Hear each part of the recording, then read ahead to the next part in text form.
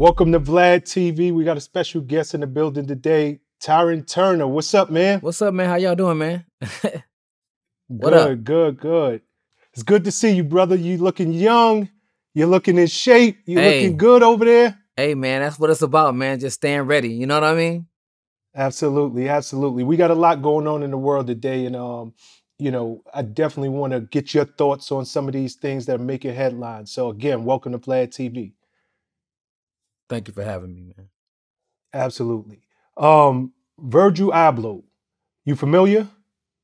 Um, designer. Designer. With, with, with uh, black designer used to work for uh, Louis Vuitton. Louis Vuitton, yeah. Right? Yeah. He really broke broke the um, glass ceilings for black designers. Yes, um, exactly. Huge within the celebrity designing world. This is a man who obviously we know um, many of the black designers, um, Sean Puffy Combs with with Sean John, um, uh, Daymond John with with Fubu, and so many of the other guys. But he really broke the glass right. ceilings as pertains to um, black designers. Wonder if all of your years um, in Hollywood and in your travels, um, have you ever had a chance to meet him and any interactions with him? Never, never. Really? I, I actually never met him. Um, but I heard a lot of great things about him, and um, you know, I mean, he's he's definitely uh like a pioneer in our culture, you know, you know what I mean, and I respect that. Yeah. So again, um, rest in peace to Virgil. Um, Affion Crockett. Yes. You familiar? Yes. You know, I believe you guys had a chance to work together. Is that is yeah? That we um, it, he had a um a television show that I wrote on with me, him, Jamie Foxx, uh, and um, uh, a few other people, uh, Johnny Mack, some just some, you know, we wrote on a television show called the uh, it was the Affion Crockett Show. well, you know, he recently called out a Karen who um, stormed on stage during one of his sets. Right. You know, there's a lot going on in the world, especially with the Karens out there. Many of them um, are getting their just due and being called out for their um, behavior and white privilege. You know, you working with him, is this within the personality or the man that you know who would stop his show and call out a Karen for storming on stage? Affion Crockett is a is a, is a it's right up his character. Like he's like he's very uh spontaneous. He's very um uh uh what you call um very witty. So for him to do that, I like I knew that he he he's good with ad libbing and knowing how to play off a off a uh, off a drama. So I knew that that's something he could use to his advantage and put in and put inside the show. Hmm. Yeah, I mean, he definitely didn't hold back, and right. um, you know, it was it was something that made the news, and you know, you saw that quick wit um that you just spoke about with him. Yeah, you know, come through. You know, speaking of quick wit, Dave Chappelle. Mm. this is a guy who's making big headlines these days. Um, you know, and he's making big headlines because he's challenging the establishment. Right. He's challenging the world right now. Right.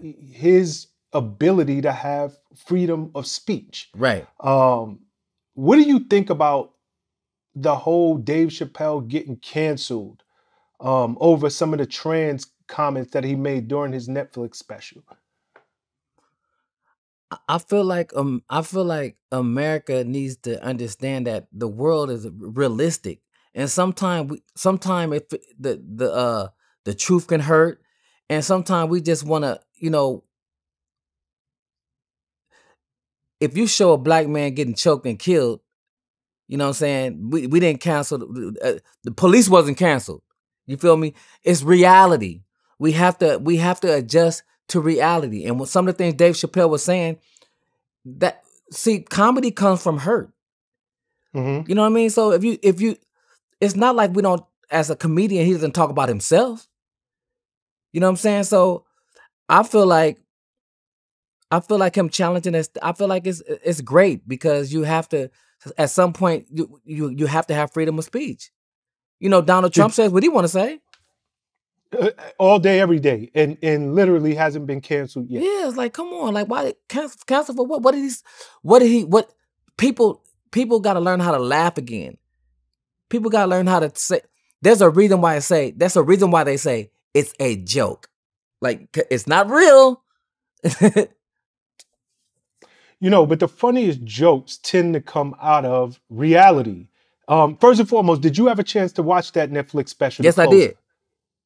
You know, I watched it, and although Dave Chappelle was being Dave Chappelle and he was very raw, I really got the sense that he had an affinity for that community. Right. It wasn't like he was just ragging on them. He was talking about he respects them. He had a great friend who was trans and um, killed himself, and how he is now, you know, doing his part for the person's daughter. Right. It, it didn't come off like he was just slamming this community. You know, he was telling jokes which were based in reality, but it wasn't hate from my part. I, I don't know. Did it come off the same way to you?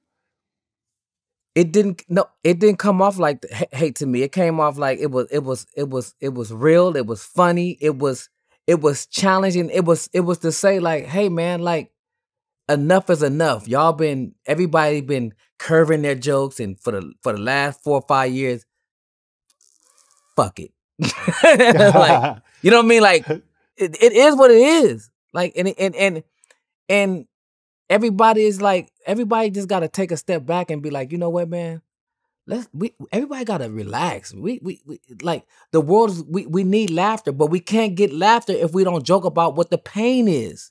All right, let me ask you something. You had a you you had a role in a movie called Ghetto Tales, starring Boosie and, and Webbie. Yes. Um, you got any story? Boosie, he's a regular on Vlad TV, and he's always outspoken. Another person who speaks his mind very, very unfiltered. Right. You got any stories of uh, Boosie while filming? No, not really. Just, just, um, just a, uh, just very cool, very cool guy, very down to earth. Um, he used to always have these, um, these, uh, what's those cars? He had the, uh, Matt. What, what's the? He was just like he's still he still lived in like he still was connected to the hood. Like it wasn't like he he was like in these mansions. He had money, he had cars, he had all that, but he was connected like to the street, you know what I'm saying? And he was cool and he was respectful and he was uh he was um cool to work with and Webbie was cool to work with. They was just they was just cool. They was happy to that that they worked with me and I was like I was happy to work with them. It was like we were fans of each other. It was just it was just cool. Nothing weird, you know what I'm saying? I found out that he had uh uh, diabetes or something. That was the only thing I I uh, knew that he had mm-hmm. diabetes or something or whatever. Uh, that was the only weird thing I think I uh, probably. Uh, I was like, damn, how could you, young too young to have? I didn't know. Like, man, he's like young to have diabetes. I never seen that before. I knew my grandmama had it, so I didn't even know diabetes even existed with in like younger like that. You know what I mean? It, it, him and Lil Nas X been going back and forth. Are you familiar? Mm. Yes. yeah. yeah, man. You know, what is your thoughts on I mean, that is the most unlikely set of people. I, I, don't even know how each one of them got on each other's radar because that's that's such an unlikely um, set of people to to be going back right. and forth with each other. So what's your thoughts on Boosie's statement about the the gay community?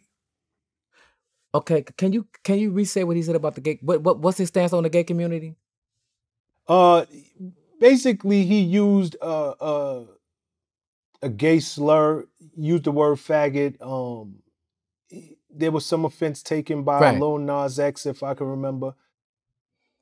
Um, God, gay. I had gay. Like I'm not. I don't have gay phobia, so it doesn't bother me. But you know, I had. I had. I had uh, a, a cousin that was gay. Um, I just feel like there you go again. Uh, freedom of freedom of speech. It's like that's how Boosie felt. Like if he, are you supposed to get in trouble for lying? I thought lying is a sin. if you can, so we, are we in a world where if you tell the truth you're being punished, or or if you lie you're pun- or or you're uh, you're being punished? So if I go if, if I go rob a liquor store and say I didn't do it, that's cool. You know what I'm saying? But if I did, so if but if I did, if I tell the truth, I'm I'm I'm, I'm it's like you it, there's no win. It's like what are y'all? He didn't did he what did it what okay tell me that what did he what did Boosie actually lie about? So I guess I guess I guess the word the word faggot is, is the wrong word to use, right? Now correct. Now I now let me explain. Let me, the word the word fag to me ain't ain't a homosexual to me. The word fag is just sometimes it it it's just like the word nigga. Like, oh man, man, you man, that was some fag shit did, my nigga. Like, it's kind of more like that was some dumb shit, or that was like, man, you that was some weak kind of. It ain't always like a fag meaning like somebody in your booty. You know what I'm saying? Like every everybody take the words and use them how they feel like the person was using them. You know what I'm saying? But sometimes it don't be like that. That's why we can call each other niggas and we don't really take it offensive. You know what I'm saying? But when somebody say nigger, it makes you feel weird. Yeah. Yeah.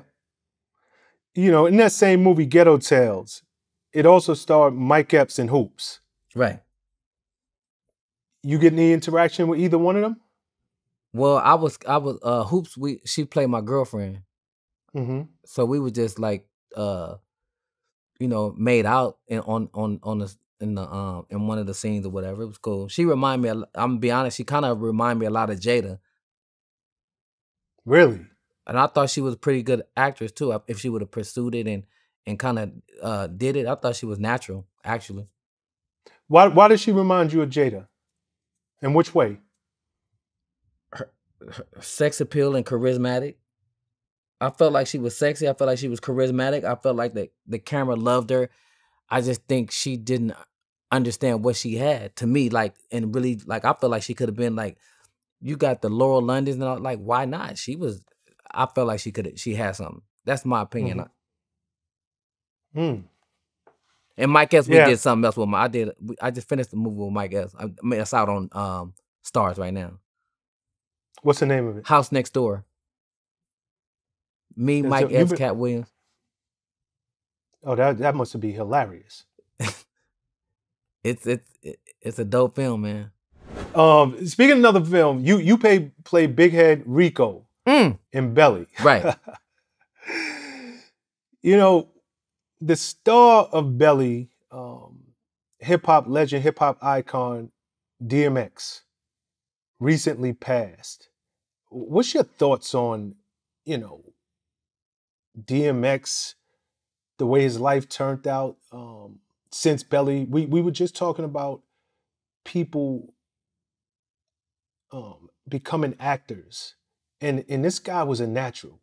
He he he was an incredible, phenomenal rapper, but when he got on that set to act, he was just as explosive. Um, you know, what is your thoughts just even hearing that DMX, somebody who's been with us for so many years, somebody who's made so many incredible number one hits, you know, this is a man who passed. And that, yeah, that that that that actually shocked me when I because when I DMX reminds me of like a he's like a he was like a to me he was like a East Coast Tupac to me like you know that's the kind of energy that that he gave. So when he passed away i met him when we we did we did belly. We jumped in the car and we drove around new york for like two or three hours just listening to all kind of music. I was asking him questions picking his brain. He was i was just like because i knew that he was next. So he so, so so being in the car with him i'm just like man do you you you, you know you next. But he was just he was just he was just straight humble and like yeah yeah what what about this song? And we listening and his one of his favorite songs was uh by Jocelyn somebody else's guy. I don't know if you know that song. Yep absolutely. Yeah Classic. so somebody else's guy like I remember him that was one of his uh favorite songs. Um his one of his favorite rappers was Scarface. Um and he just he loved music that's what I would. He loved music. We'd like to listen to music for like an hour, an hour, like two hours straight. And um, nah, man, that that that messed me up because it was just like, damn, like here we are. We fight to get these moments in life, and God is God is not a groupie. Like God will come get you. It don't matter who you are. You know what I mean? So you have to prepare to to to live. Like it's not you got to play defense. You can't just hey let me let me eat right. Let me let me I can't intake all these drugs. You got to really prepare, man, cuz look, we losing people so fast.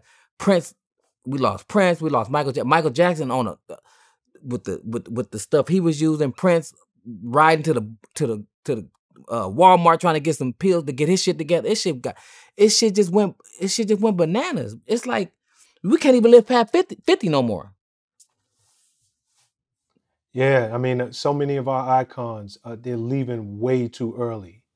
Way too, and you, you know, speaking of leaving way too early, it, it's it's common knowledge that DMX, um, his driving ability was different. Meaning, you said you spent two hours driving him around the city with DMX. Speaking of losing somebody too early, you could have been lost too early. Like DMX, yeah, I, he, he wasn't known for for having great ability behind the wheel. Yeah, it's just like it's one of those things to where you just you you I'm it's kind of thing where you know somebody driving and you just block it out. You talk, you listen to music, and you just kind of like everything. Just, you don't want you you don't never want the motherfucker next to you to think you scared of their driving. So you just you you you, you like just kind of like you. Yo, for real talk, was you scared to death in that? Because X used to do like ninety, going from one corner to the other corner. I felt okay. I wasn't. It was. I wasn't that. I don't think he was really doing that at that time. Got you. But but he was speeding. But it's New York, so I always think New York people drive different, and I just think that it's just how it works. It just I think New York people work. I I've never seen a car crash in New York. Actually, that's weird. I, I I've never seen cars crashing. I, you may have, but in L.A. it's all you see accidents on the freeway. But New York, they so I've never seen an accident out there. Wow. You seen an accident in New York? I lived in New York my whole life. Of course I've seen Okay. Yeah. Speaking of rappers turned actors. Right. Um, you had a classic scene with Method Man. Mm. Another legend in the rap community. Yes. Um, how do you feel personally watching um, Meth over the years? How do you feel about his evolution as an actor? I think I'm gonna be honest with you. I just felt like Method Man is. Uh, I'm I'm actually proud of him. Actually, like he, I think he's dope. Like he's he not only is he dope, but he's he he um he's transitioned and really start taking this shit serious. Got a suit on, been a lawyer. Like he's really taking it serious. Like and he's doing a great job at it. And he's in shape. He's taking his health serious. Like it's like he just he he figured it out. And I'm and I'm I'm I'm I'm, I'm actually proud. Like I think he I think he's dope. I think I think he has charisma on screen. I think he um I think he I think he's gonna go far because he's finally I think taking it serious then you can tell with his work. You have any stories with him on set? Did y'all get a um, chance to to really spend time and just connect and bond off camera? Nah, not not, not well, well, me and Meth, we we know we we we know each other. Um, it's just more just uh just you, just the energy of just two cool two cool dudes. You know what I'm saying? It's just like, what's up, T? What's up, Meth? Like it's just that combat, just that, nothing like out of the ordinary. Hmm. Um, you had a chance to bring back Big Head Rico in Meet the Blacks. Yes. Uh, what was your thoughts when they asked you to reprise that role? Was you shocked? Um, well, it's not that. So, Big Head Rico, I didn't even know that he was gonna be a be that have that kind of impact. Really? I didn't. It was a it was all an accident because I originally was supposed to be in Belly as the lead character. Hype Williams said, "Hey man, I we we got this upcoming rap this upcoming rapper. His name is DMX you know um it's a, it's a New York film. I, I, we're gonna go this direction but I got something I, uh, but I but you could do something else. And I'm like okay. So the Rico character was a character that we kind of I kind of made up because I was mad that I didn't have a lead role being young. So I'm like, man, I really want the lead role, man. They, I, not, Rico, okay, man, the, the, give me, I, give me a banana, some wig. I'm just he a hater, cool. All right, give me banana wig or whatever. So I'm just, I'm trying to mess the story. I'm trying to mess the character up because I'm just irritated. I'm eating the banana.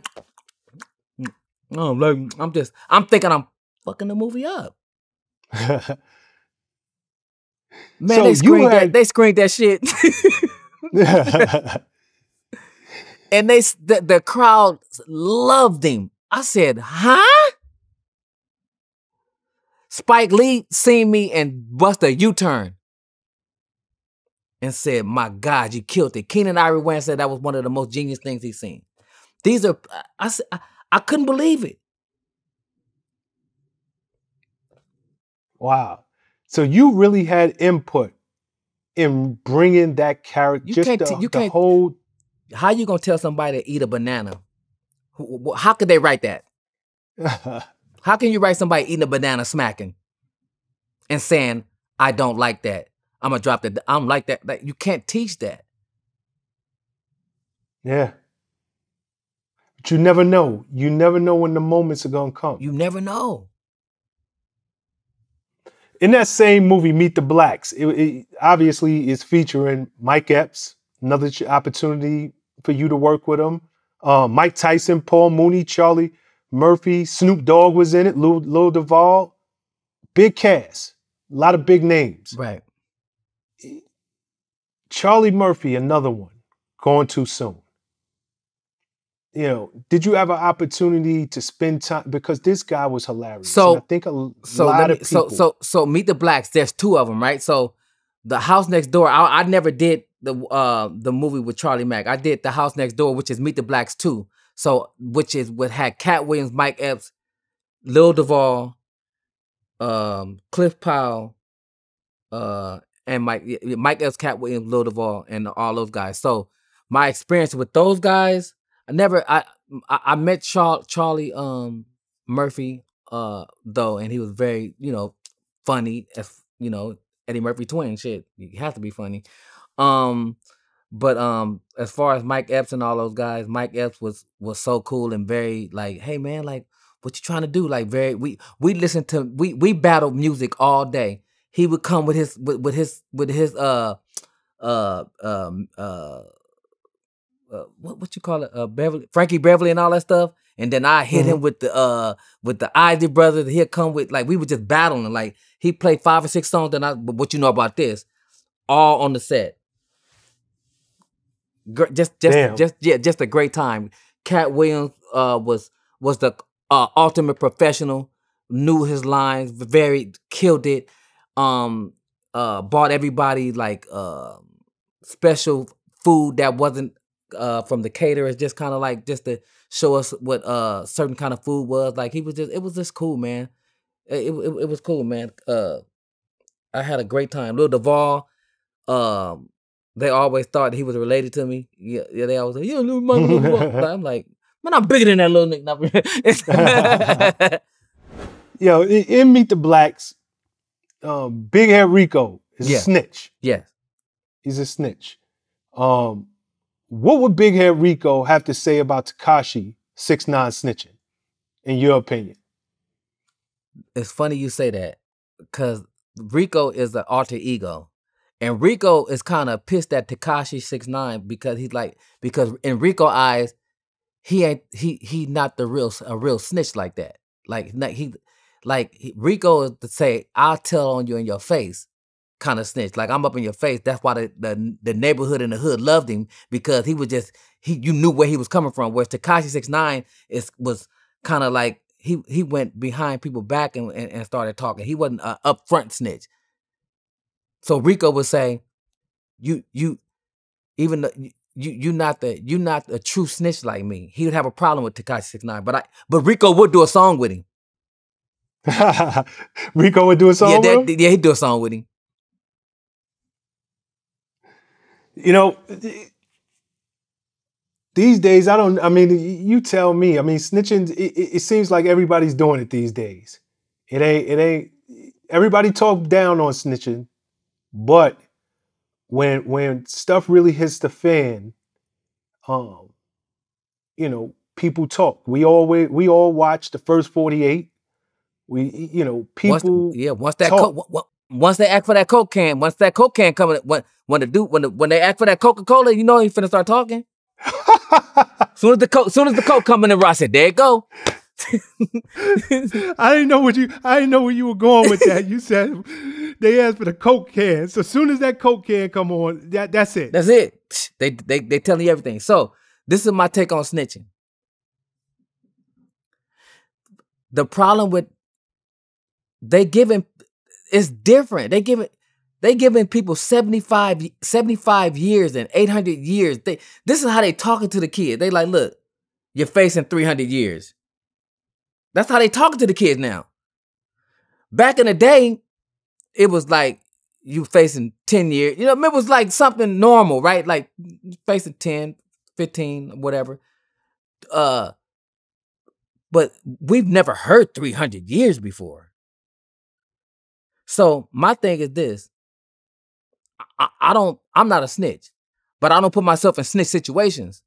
Yeah, I mean, um don't do the don't do the time if you can't do the crime. That's the that's the whole key.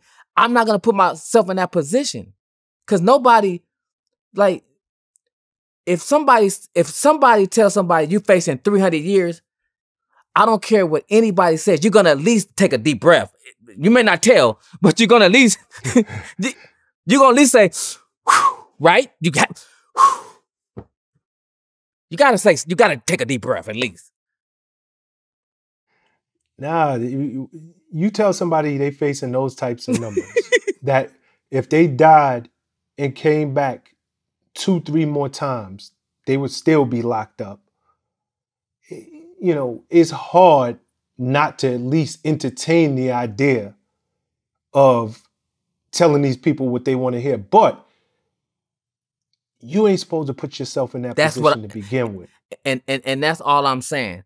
And when you and when you um the thing about it is like when you when you die, nobody even think about that shit no more. Well, I don't know how many snitches there is in the world. like, so it's like, I guess some people just feel like, well, who am I trying to impress? Is it ego? Like, think about like, is it an ego that you don't have? So somebody say you got 300 years, and they say, but if you, but if you, but if you say something, you got six months in probation. Like, is it a, is it ego, and you care about what other people think, or is it like, mm, shit? That's something that you got to really you got to think about that. Look, if they giving you 300 years and they say if you if you if if you if you talk you got 6 months, you at least got to take a deep breath. You just got to take a deep breath. You you mentioned earlier you tried out um for the leading role in Boyz n the Hood. Yes. As Trey. Yeah. Didn't didn't get the part. No. Um how did that audition go? But um John Singleton said um I had the uh I had the role. I went in there, I killed it. I know that. I felt it. Uh didn't get it.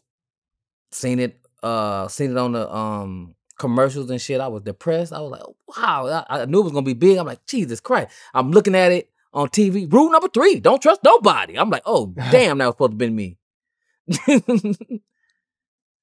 and so then, like a um, I was bitter for that. I was a bitter for I was bitter about that. You know what I mean? And um, it's funny that I never, I never even, I never even worked with John Singleton uh, ever, and which I thought was weird. Like, how you a, a, a black a black actor in the culture, and you never work with your you never work with your heroes. Never work with John Singleton. Never work with Spike Lee. Spike Lee seen me and said he loved me. Never worked with Spike Lee. Um, worked with the Hughes brothers. They believed in me, gave me my gave me a shot. But like it's like, hey man, like they, the, I feel like black directors were in competition with each other. Yeah, Um, I've heard that. I've heard that it's it, it's definitely at one point. It's gotten better over the years, but at one point, many of them were in competition with one another. Yeah, so instead of instead of using somebody that you know is dope, you try to go make your you I'm just gonna get I'm just gonna go get my own. You know what I mean? Instead of just, you know, I don't even think Lorenz ever worked with John Singleton or any of those. Like, how do you have these iconic guys, Lorenz Tate, uh, like all these guys, and you have filmmakers out here that that don't don't they well, you don't you don't see Lorenz Tate? Come on, man. You got Wood Harris and Mekhi Phifer. Like you got some huh? Come on, man. Let me ask you, as an actor, Yes. because you said you knew that was going to be a hit. As an actor, you can really read a script and say that this is going to be a hit. I got to be part of this because just from what I'm reading on these pages, it's going to translate into something incredible on screen. It well when you what you know something's a hit when you when you see the dailies. So when I said I knew Boyz n the Hood was gonna be a hit, I knew it was a hit when I heard the the song come on on the TV when it said "How to Survive in South Central." I said, "Oh shit, the whole world gonna go see that." That could have been Yeah. how to survive in South Central. That that L.A. Crenshaw, all that the world wanted to know how to survive in South Central. You know what I mean? So now with Menace, uh, when the um, I knew that was gonna be a hit when we when they had the screening, and um, soon as me and Lorenz Tate character walked into the uh, liquor store, and we walked in, and I'm in the audience, and I'm in the back, and the audience is they they, went. I've never heard in LA before. They start cheering, crying, getting. That's messed. I feel sorry for your mother. Eh, The, eh, the- the whole. Ooh, it was. I said, "Oh my god." My, my, my I said, it's, I said, I, I walked out. I said, it's over. I knew it was. At that that you know- moment, you knew I'm part of something epic. I'm, yeah, I, I'm- I- I'm yeah. gonna- what I didn't, I what I didn't know is that it would be this iconic. I didn't know that. I just knew it was gonna be a. I, I said, I said, ooh, I knew this. What I knew. I said, oh, Boys and Hood is in trouble. That's my real thought. I said, it's in trouble. All right. Speaking of Boyz n the Hood, um, Right. Vlad recently interviewed Cuba's brother, his younger brother Omar Gooding. Yes. I want to show you a clip Okay. that he um a clip when Vlad asked him about you auditioning for the lead role. Okay. And then in 1991, Mhm. Boyz n the Hood comes out, Yeah. starring your brother, Yes, sir. Cuba Gooding Jr. What's interesting is that uh, I interviewed Tyrin Turner, Nice. you know, who played Kane in Absolutely. Menace Society, and he actually auditioned for that same role. Did he really? And he even did like a whole like reenactment of, of Cuba Gooding's, uh, you know, like that is the part when he was like, you know, comes home, starts punching And he starts punching. Okay. I thought he improv that too. So that's amazing that he had that. stuff. Hold on, I'll actually show you. Let me see, let me see if I can pull this up. He said that was in the audition, huh? Got it. So there's Tyrin Turner talking about his audition for Boyz n the Hood. Mm-mm. You actually tried out for Boyz n the Hood. I tried out for Boyz n the Hood. I did the whole spiel, went in there, met John Singleton. You know, I, I remember like yesterday, I, I went in there and uh, it was the scene where, uh, you know, when uh, Cuba got it, he got on. Damn. Okay. At least we know now. We know why he didn't get the role. you put me That's- right into that that's scene right evident. there. And I did that whole little thing, and John Did you? Singleton was like, Tyrin, There you go. He's such a nut. Ah, it's like, yeah, well, that would have been easy to cast. I get it. I get it, brother. Next. Anybody else out there? Send in Cuba. So, what's your reaction on um, you know, just watching Cuba Gooding's reaction to you auditioning that scene that his brother made famous? I mean, Omar Gooding. so so I was trying to I was trying to see the re, the actual reaction. Was, was he was he saying that I was he, he was he saying like uh that was funny like T crazy kind of thing? It- it- that's what it felt like. Yeah. Um I mean, I think he probably felt like shit, he riding with his brother. like, You know what I mean? And and and and looking at the looking at the movie, it was perfectly cast for Cuba.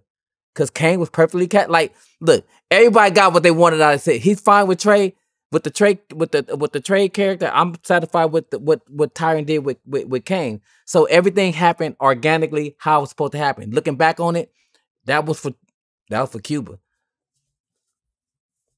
Yeah, I mean, uh, I, I think both of you killed those roles respectively, Yeah. and you know, it's a big part of why those films, in addition to obviously the other great actors um, in the writing and the directing, but these are now iconic films, um, even beyond our own community. right. For over 20 years, you worked behind the scenes, which I didn't know, um, writing comedy material for close friends like Jamie Foxx. Right. Uh, I didn't realize you and Jamie. Fo- How far back do you and Jamie Foxx go? Twenty like twenty five some years. Yeah. Yeah. Um, since probably like uh from in lip like in living color. Yeah. So y- the, the Jamie the, the J- Jamie uh is a um is a, we all know like uh a very talented, you know, actor or whatever and um very very very funny. And so um he was like he he he he knew how funny I was. He was like, "Man, shit you you funny than you you- you funny. And so we just used to chop it up, write jokes together, drive around and write jokes or whatever. And then one time he was like, um, he was working on his uh, unpredictable tour, and we sat down, we we, we drove around, and like I I wrote probably like he'll tell you, I wrote like uh me and him, you know what I'm saying? We wrote I wrote a lot of a, a lot of his his jokes for his uh his unpredictable tour. Do you think of yourself as a comedian? Do, do you look at yourself that way? Because when most people see Tyrin Turner, they see actor, uh, you know, somebody who takes serious roles. Obviously, you've done things like Meet the Blacks, which was which was hilarious. But knowing that you wrote that much um, of that unpredictable tour, do you, when you look at yourself, do you think comedian or do you just think it's you know i just do a little bit of, of everything first of all, I'm funny as hell, that's for sure. But the thing, the thing was, I wanted to be a comedian at first. I wanted mm. to. That's, I, I thought I was funny. I was a class clown. I was funny. Menace came, and then somebody sold me on being a damn sex symbol. So then I'm trying to, like, I'm trying to not be so damn funny now. You know what I mean? I'm like, man, shit, these girls like these lips and shit. Let me just, let me just kind of just be on some, some leading man kind of that. But I always love to be funny. I always, I, I love, I love, I love comedy. But I was, I'm, I, I'm, I'm versatile. So people that know me for real, they're gonna say, "Oh, Tyrin hilarious." But if you don't, if you don't, that's why when I did House Next Door, like you kind of get a chance to see me being different. You know what I mean? So you can say, "Oh, this nigga, he got," you know what I mean? I got comedy timing as well. yeah i mean even you said you go back with with jamie Foxx about 25 years or so hmm uh, like how did he even discover you know just just how did he discover like How did he know? yeah that you had this He's a kind of comedic instinct Because because because com- let, let me explain something to you. And Dave Chappelle will tell you this. Before Dave Chappelle made it, we was in a limousine. We bagged on each other for two hours straight. Me and Dave Chappelle. This is on the record. This is real. and and you were able to hold your own with D Dave Chappelle Ask Dave for two ever hours we bagged for two uh, people. We bagged for two hours. Dave Chappelle. I'm. T- I'm. This was the half. This was right before the half baked Chappelle. Mm hmm Yeah, we was in. Yeah, we bagged on each other for like two. We we bagged on each other for like two hours straight, nonstop. Yeah, he'll tell you. Yes, you clearly you have comedic instincts. Like if you can hold your own with Dave Chappelle for two straight hours, I think people would not know this side of you Yeah, that. because yeah. when it Right, but but people that know me, like Jamie, Jamie, if you see Jamie, you ask him, is Tyrin funny? Hy- hysterical. Like we all, comedy is is where that's what we that's where all I listened to was Richard Pryor and uh Eddie Murphy coming up. To Society. I didn't live in Color first. Keen, Keenan Ivory gave me my first job on in Living Color first. I didn't live in Color before I did anything. I did an episode in Living Color. Keenan Hi- Ivory had uh hired me. So why not at some point in your career, why didn't you just go and start doing stand up and really going hard? Because this seems like something that just comes natural to you. because I felt like I felt like it was it, it probably would it would could be backwards. I, I don't I don't know. I felt like I, I I took the wrong route, so I was just gonna finish it the way that people saw it. I, in a sense, you know what I mean. It's like look at Kevin Hart, right? He did fatherhood, dramatic, right? We all we all are funny, but we all have a sense of like we can be real as well. You know what I mean? Look at Tom Hanks. Look at look, Jamie was was Wanda. He won an Oscar for Ray. This is what I'm trying to tell you. A lot of a lot of people that are comedians really are dramatic. There a lot of comedians really can go. Look at Chris Tucker and um Dead Presidents. Natural. Yeah. Smoking the smoking the cigarette, just just doing his thing. And I think that's the misconception. I think I think some I think we we're entertainers and we can do a lot, but we just limit ourselves because we we scared of what people think. That's why I start singing and shit. I'll sing. If you watch my lives, I'll sing. I do it all. Look at Jamie sing. Chris Tucker can uh, sing a little bit. Um, uh, Eddie Griffin can sing a little bit. Sammy Tommy Davidson. Do you notice how everybody, most comedians can they be singing and doing all kind of stuff? Uh, you and Jamie, obviously, you guys share a lot of history. Right. And you joined Jamie Foxx and, and Stephen Jackson when they spoke out on the um, Minneapolis. They spoke out on the whole George Floyd thing in Minneapolis. Uh, first and foremost, uh, you know, our condolences to George Floyd's family. But how did the George Floyd death affect you? And why did you feel the need to really step up when those guys stepped up to speak out? because this was the this was the this was the first time that we ever seen somebody just beg for their life and and and actually die. Like you didn't see the police choke people out and and you know we all then got roughed up a little bit. And, I mean the handcuffs too tight and all that. You know we all been through that, but you've never seen somebody say pleading for his mama and calling his mama and then and and and, and all that stuff. That was just it was just a different dynamic. And he and he and, and he died. And it was just like it was like something I seen on TV. He he's not even here no more. George Floyd is actually. I went to the funeral and seen his casket. Like he's actually gone over a a police officer not getting his foot off his neck when he was begging for his life. That's just different. That's crazy to me. It, it was. I, I, I, I've never seen such energy like that before. Even just going there and and just seeing the him in the casket, it was just like it was like the energy was crazy, man. Yeah, I mean, I, I- think it was even in a, a social media, reality TV world that we live in, that still shocked us all. And it's hard to be shocked in this world that we live in because everything is filmed. Uh, people will do anything for likes, people will do anything for followers. And still, you see this man pleading not just for his life, but as you said, calling for his mother and watching his life be taken before all of our eyes.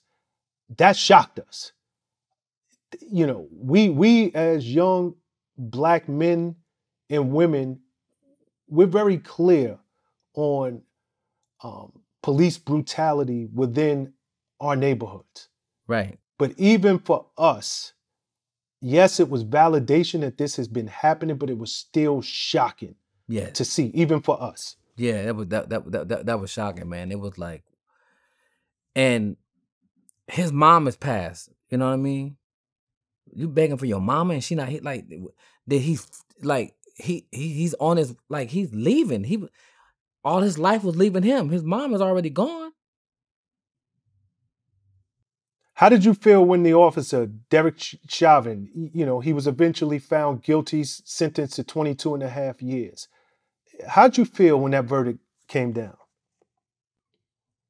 I'm gonna be honest with you. When I when I um when I looked at his face, I I I I, felt sad for him a little bit too. And the reason why is because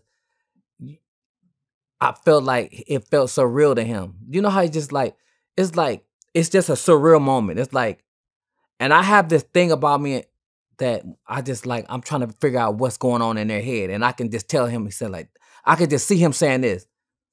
Damn, why did my why did my why did my police walkie-talkie go off that day? I'm just I'm just saying in my head like I know he's like why my damn walkie-talkie go off? Are you serious? They just gave me 22 years. Why the my walkie-talkie go off that day? Damn. Do you think he was saying that? Or was he saying, I've watched the Rodney King beating, I've watched dozens of African Americans Mhm. being killed, beaten, uh, dehumanized on film.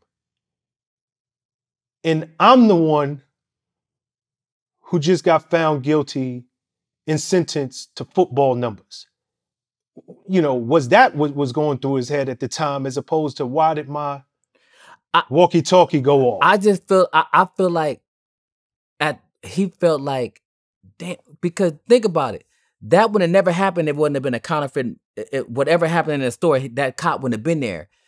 And I just feel like that alleviates him from getting that from being there. I'm I'm not saying I'm saying in the sense of like, damn, what you, you it's like it's like it's like going to the store and then you you go in there and and and they get robbed. You're like, damn, why did I choose to go to 7-Eleven today?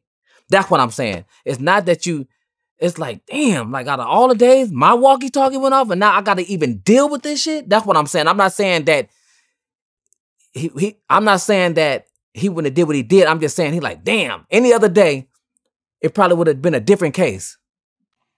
I think he was saying 100%. It would have been a different case. But any other day, it, it, it seems like many of the, the officers in that position are acquitted. And he put, you know, part of that was probably running through his head as he well. Like, he knew that that what you know how you you know how you you know how you know you know how you know that it it's it's it's on you this time. Like I have this thing like I hate flying. I hate I hate flying, but but I fly and the plane always land and all that cool shit. It's great, right? But I'm like, damn, I hate flying so much. I say, damn, it's me, huh? I'm gonna be the motherfucker that that the thing say, boom, please get your gear. I'm like, I just, it's like it's just that it's that it's that it's gonna be me factor.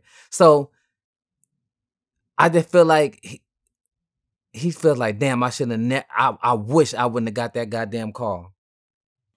I think I, I I I even think he's saying like he replaying it and saying like, damn, when he was begging for his life, I could have just got if I would have got off thirty seconds more. Damn, I would. I still be I still be here. I, damn, I was I was on I was on his neck for three minutes. Like he has to know that that was too long. Like I'm I'm just saying that's what's replaying in his mind. Like damn, three minutes. Jesus Christ. So it was ten minutes, right? Three or ten. it, was- it, it was nine and change. Okay, now look. Now you know, damn, you know he's saying, damn, I could have it could have been a if, if five minutes he's still alive. He'd have still been if it was just five minutes. He has to re be playing that time that ha- he's replaying time in his head. Yeah. I mean, he got 22 years to think about it. Yeah, th- that's for sure.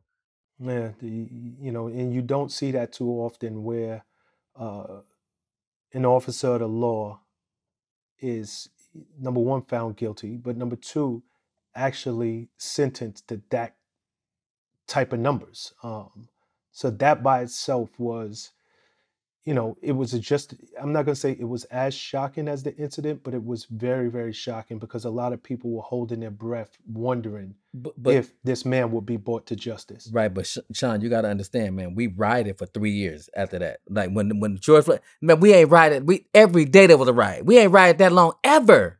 Yeah, Yeah. They ride that that was the longest ride. I I don't remember a ride. we ride it forever.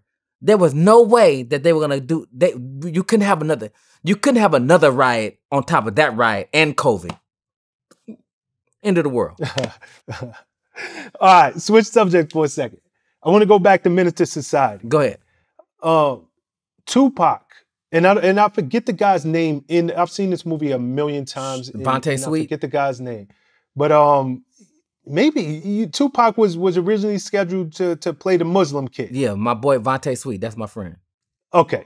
Um, did he get the role and have an argument with the? So Tupac actually got that role. He actually had the role. he so got- what happened? Because from what I understand, he quit, and there was some type of disagreement with with him and Well, the they was in the they were they were we, they were we was in the we was in the room. Me, Tupac, the cast, Jada. We're in it. We in the room and we're reading the script. Everybody's reading, and Tupac is like, "Ah, ah, "Man, I can't even. I can't get into it, man. Man, this, man, this this this role is shitty, man. What what can I do with this? Man, I can't do nothing with it." And I'm looking like who, who is this one? Like who is who, who is this nigga, man? Here I am with my first role, leading role, and hit. I'm like, I'm like, man, who is this nigga, man? Like, for real, like something. Uh, uh, and I think I said uh, at this time he was the Brenda, he was the Brenda type, he was the the Brenda, got, a baby, P- Tupac. He wasn't all eyes on me, Tupac. He the Brenda the baby one. So um, I'm like, who is this dude? So so the, the director Allen was like, told Tupac, and he's like, man, you acting like a bitch right now, man. Step outside. So Allen get up, jump up, go outside. Tupac go outside. They whatever happened outside, they did that. Tupac never came back in. Allen came back in. Tupac, I never seen Tupac again until after we did the the uh the video, and that's another story. So that was so literally on the set that day. That was the last that you saw Tupac. That was the last time I saw Tupac until we shot the video. Triggers got no heart. Huh. And you said because it's also well known him and Jada, great friends since high school. She was around that same day, Yes. huh? What was that interaction like with them? Uh, and I read somewhere that you you pretty much said that they they were like brother and sister. They were yeah, I said when when they when um when Tu when I seen Tupac and Jada, they was wrestling. what you mean wrestling? Like like like like homies, like you know how you wrestle your homeboy, like like like uh like they were just like wrestling like they were friends. Like just like if if uh like say Jada running and Tupac chase her and then he grab her and they wrestling like uh, in a fun way. Like just friends fr- a friendly way of just uh, their friendly bond of just kind of hanging with each other clowning. Hmm. Will Smith just dropped a book recently. Actually, it's out now. Um, just came out, and he's dropping a lot of his truth in the book.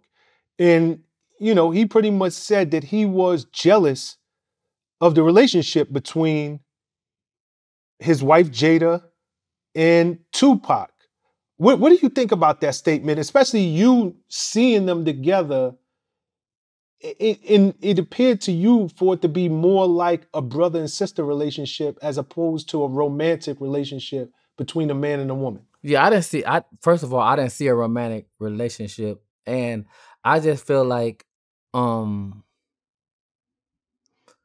sometimes you know, like a like like a gay person that can be a friend with a girl, and Yep. and and it's like the best friend. Like maybe maybe from a sense of there, he was probably jealous. Like man, he because bet the, the the best friend get to do things that the best friend is just different. They they confide in them, they talk. It's like a different kind of dynamic, and maybe that's what he was jealous of. Maybe he was jealous that Tupac and and um Jada had that kind of dynamic in a friendship, and they probably didn't have that. There because a sexual relationship is probably different from a friendship kind of relationship between a man and a woman. You know what I mean?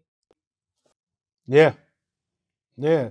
But mean, I'm not jealous of like I'm don't I'm not putting in no book. I'm ever jealous of no no man. Like that's that's you I, to me, I'm always be secure within myself. I'm not gonna be, you know what I mean? Like me. You, Jada and Will, they have really in the last few years um, been extremely open and honest about that relationship that they have. Been married for over 20 Right. years.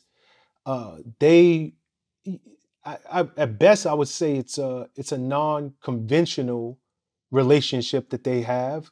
Um, They- go they're, ahead. ju- they're just being they- they're just being honest when the whole world isn't. That's all. It's just a different like everybody else. you know how everybody else just got side chicks and doing stuff. They're doing the same thing. It's just more a secret. They saying hey, they figured out how to say, hey man, like man, we kind of like what we we are. We kind of like what we like. Let's just be open with it. Opposed to opposed to everybody in the world just having uh side chicks and and and and um a second phone and all that kind of stuff that maybe they just say, "Hey, man, let's just let's just be honest."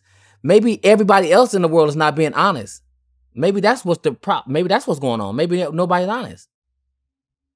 I, I guarantee you, ain't ain't nobody ain't you can you can go to ain't nobody just gonna give their phone to their girl and and vice versa and give them the passcode and walk away. Bet, bet. Yeah, I mean they they have been extremely brutally honest about that relationship. Um, even even J- Jada dropped a new word on the world. She said she had an entanglement. Um, that I got caught love everybody. under new entanglements. yeah, I mean, um, I'm, I'm not sure what's going on, but at the end of the day, shout out to them. Open relationship or not, um, it works for them. They're Yeah. still together, and they seem to genuinely love one another. Yeah, that, and and and that's all. That's that's all that matters. You gotta make your you gotta make yourself happy. Sometimes we we do things for other people and not yourself. You know what I mean? What's the what is the how do you really feel? You know what I mean? How do you really feel? Like, are you forced to be with one person? Is that what you are? See, your body don't your body don't lie. When you're hungry, you go eat, right?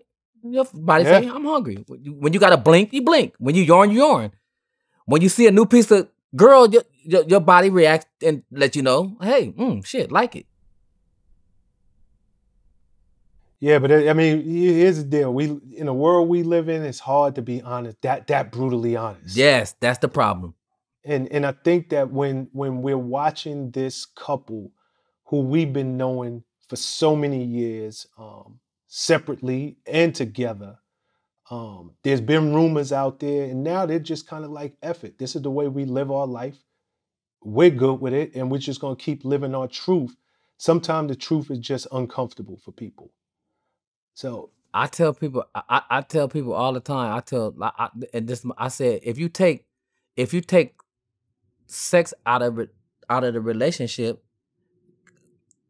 maybe things can work. That's the only thing that people really break up about is somebody saying they cheated, right? that money, That money. So if you could take, if you could take, if you can, if, if if cheating no longer can affect you, which what I'm trying to, that, that's where I'm at mentally. Like if cheating can no longer affect you, then how? Then you can, you can, your relationship can last. yeah, You just gotta I- be you just gotta be strong enough to understand that if you think you're gonna be the woman and she ain't gonna never get no dick ever again in her life, in her whole entire life, just just, the this the last dick she gonna ever have in her life, then you're very confident, very arrogant. I mean, it's possible, but could, do you really? I, and I always say, and I always say this: like, you Will Smith or you uh, Floyd Mayweather or vice versa, right? Say say this: you you want to do all this, get all this fame, to just have one vagina. You could have you could have been you could have worked at super uh, at Ralph's and had one piece of why am I doing? I'm doing all this get, get all this glory to just just be with one girl. Could have worked at could have worked at uh um you could have worked at AutoZone and did that. Yeah, yeah, that's a good way to look at it. Uh, you spoke with Kendrick Lamar at MTV once, Yeah, and um, you know he gave you major props. You know, you guys were discussing the influence um, that Menace II Society had on him growing up. Right. And he said, you know, I like Kane. Everybody, you know, loved old old dog, but for him growing up, he was really attracted to the character Kane. What was that like coming from arguably the best, if not one of the best, new era rappers that really gave it up to you in that performance? Man, that was dope. I was like to, to to have that kind of impact on Kendrick, and it just it just it just made me it, it it, let me know that I left my stamp. It's not how much you do in life; it's what you do. And to leave a this is what I do know. If I don't do nothing else in my life, I left a mark. That's Yeah. incredible. That's that's that. That no, do you know how hard it is to get um a classic? You can do a lot of movies, but do you know how hard it is to get a classic? When the one that people, it's still on TikTok right now. The new generation is is still saying Kane and Old Dog in Menace II Society. Today, it's like it won't die. No, but that's when you know.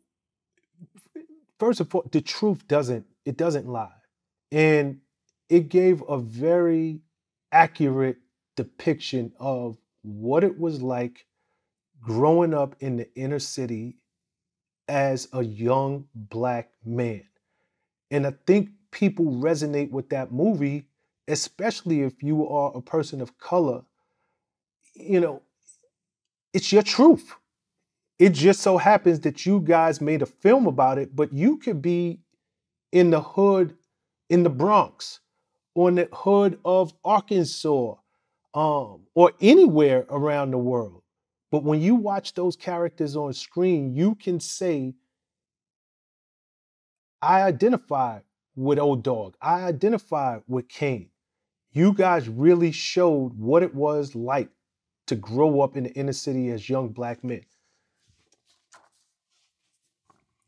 Um, after 30 years, because this movie's got to be 30 years old now.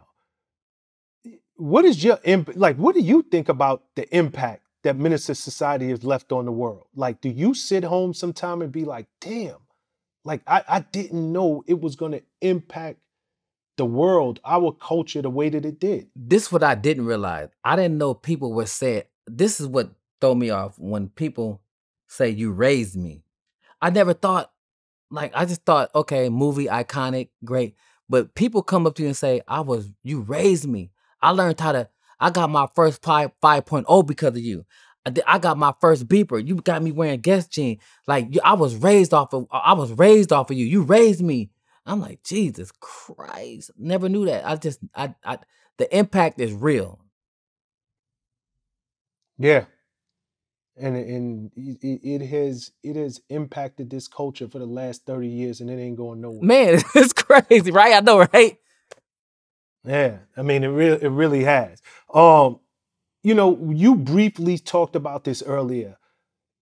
In terms of that opening scene, you and Old Dog walk into that Korean store, and the shop owner says something to the effect, "I feel sorry for your mother," and that was it. Yeah. Um, this happened, or that movie came out, if I'm correct, right around the time that Latasha Hard, Hardens. yeah, yeah.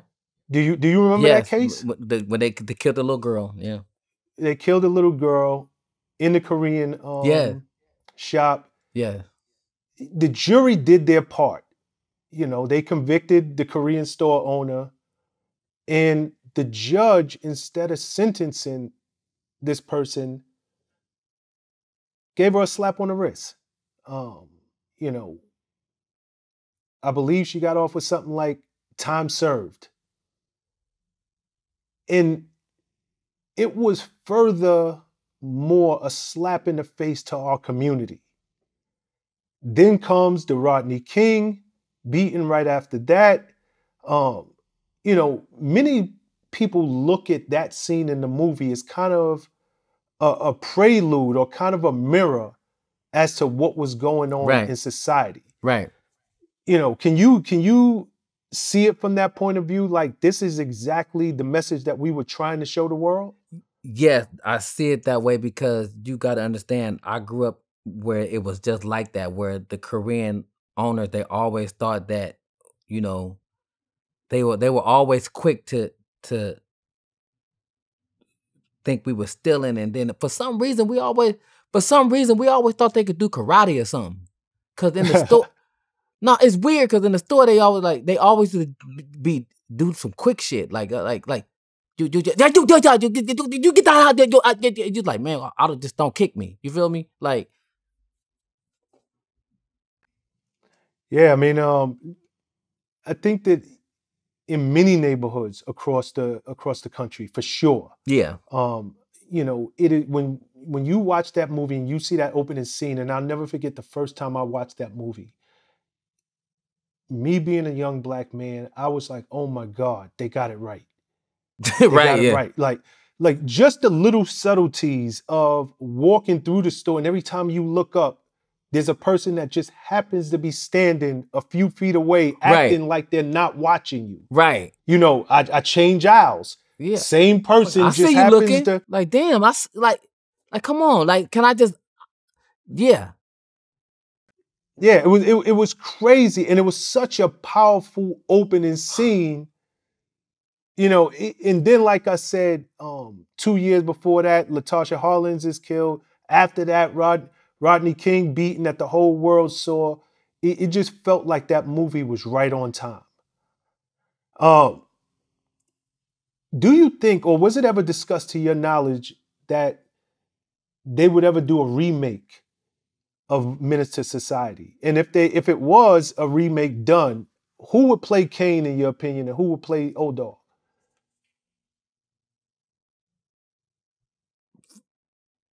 if if they ever did, uh, which I don't think can't be done. No? Can't nobody do that. How? Who could? Like that's. It's too many. it- It's too. It, it's it's th- that's too hard to redo. That energy, it- the- energy was the, the energy of you have the the the um the choices you make as a act- you mean trying to do the same thing going to the liquor store that you just redo it. How? Yeah. How? I mean, so to your knowledge, it was never discussed about. they tried. They, doing- they, they, they- There's no Menace II Society without what. they're Definitely not doing one without me. So they tried to do. They, they it, it was talked about, but they was like, how do they do it? It was like everybody had been trying to do that story, like they say New Jack City. You know how they always say, New Jack City too. Man, leave Nino. Need is only one Nino Brown. Leave it alone. It's only one old dog. Only one Kane. Leave him alone. Don't mess Yeah. with classic. Speaking of classics, um, R.I.P. A.J. Johnson. Another one that we lost way too early. Another brother who was funny as hell. Um, what I didn't know is that he had a small scene in to Society. Did you have the opportunity to spend a lot of time with him? Yes. You I, I got him to roll in that. You got you got AJ Johnson the role in Menace. hmm Talk about it. So um I, with so AJ came AJ came up to the set to see me. And somebody didn't show up to do the scenes or whatever. And I told the Hughes brothers, uh, let my let my nigga uh let my let let AJ do let he he can handle that. He can do it. He funny, he this, he he can handle that. And then Alan was like, You sure? I said, Man, he got it. And um Alan was like, uh, told him to uh come on, uh took in the wardrobe, put him in the stuff, and it was it was it happened. He says it. I, he he speaks on it. I think he did uh a Vlad TV. He he he actually spoke on it on Vlad. Yeah. He said Tyrin Turner got me. Tyrin Turner was the one. Because he came up there to see me. So you've been knowing you've been knowing AJ for a minute now. I've been knowing AJ for for for over twenty some years too. Yeah. How did y'all two meet? Just on the scene out there in LA? Yeah, we met. We met at a. Uh, we met. Uh, my boy Vonte Sweet was the first person to introduce me to him. Though, the one that played the Muslim in um Yep. in uh, Minister Side. He introduced me to to uh Vonte. I mean uh AJ a long, long time ago, and then me and AJ just kind of more ended up uh hanging out more than him and Vonte did. You know how that happens sometimes. You like You know, it- it's just so unfortunate because we're sitting there and we're talking about AJ and um you know, like I said earlier, it he they, they're just going too early. doesn't They're really it, going too early. yeah. you know i don't i don't know what the cause of death some people say it's possible that that um drugs were involved you know but uh, it's not um confirmed or anything like that but you just looking over your life and the interact you you have been you know had major relationships with so many people who are not here. Um and and and who have left here just in the last couple of years alone. How how does that even make you feel? Do, do you do you feel blessed for having known them in the first place? Or are you looking at it the way so many of us are? It's like my god like it they're just leaving here way too early. Does it make you happy or sad it makes me understand that life is real. Because a lot of times like i'm talking to you right now i just feel like nothing can happen to me. I like you you feel normal you're breathing good you feel you don't you don't feel like life is out of you. You don't feel close like how does life leave? It doesn't it doesn't mathematically add up. How does it just and leave out of you. So it- it's confusing. It's like what how do you just die? And that shows you you just die. You just die. Aj was here. I remember him. I remember laughing with him. I remember the whole thing. he's dead. I when's the last time you saw or spoke to him? Probably like six months ago. Wow I seen I seen Zeus. He's dead. I'm like, how do you just see these people and then they're just gone? That shit is just like it just put you. how it, it- how was you with um michael k williams did you know him met him a few times. Thought he was an incredible actor. he's another one Gone, like they just gone. Like DMX. It's like you will never see. Like you, you'll never like. It don't matter how powerful somebody is. You'll never see him again. You'll never see Prince. You'll never see Prince ever again walk this street ever. Whitney Houston ever. As big as they were, you will never see. 'em. How does that work? like that's a that's really a real thing. You die. Yeah. Yeah. Every day is precious, man. Every day is precious. You know, Sam Jackson was another, you know, at that time, he wasn't the Sam Jackson that we know today, but he's another huge A-lister that had a small part in Menace. Um, at that time, Kane, that was the younger version of Kane um, during that shoot or that scene that Sam Jackson was in. But did you ever get a chance personally to meet and hang out with Sam Jackson either on that set or after? No. To this day, To this day, never hung out with him. never crossed paths. Never crossed paths. That's weird, huh? Yeah, it really is. That's weird how you can not cross paths with certain people in, in, in the world, but you in the world of them. I ran across Denzel. I run across Larry Fishburne. Like I run across them. Hmm. Before I let you go, Tyrin, and um, you know, you have been you've been great to conversate with. what are you working on these days? What what can we look forward to? Um, right now, I just finished a television pilot that I'm that I just wrote with my friend Preston. It's it's um it's it's a very interesting project. It's a uh, I'll put it like it's a about a a, a black teenage kid that's a lawyer. That's all I and and and it tackles the things that go on in the world today. Got you. And um, like I and I got Fatale with Hilary Swank and Michael Ealy on, on HBO Max right now. Yep. And um, I'm currently waiting for the script to get greenlit. Uh, it's called Free Agents that I'm supposed to be doing with uh my boy Deon Taylor. Um, Fifty Cent's also attached as a as a uh, uh a star and um one of the producers and stuff like that. Um, and just waiting for that to get uh together, but that should be next on my slate.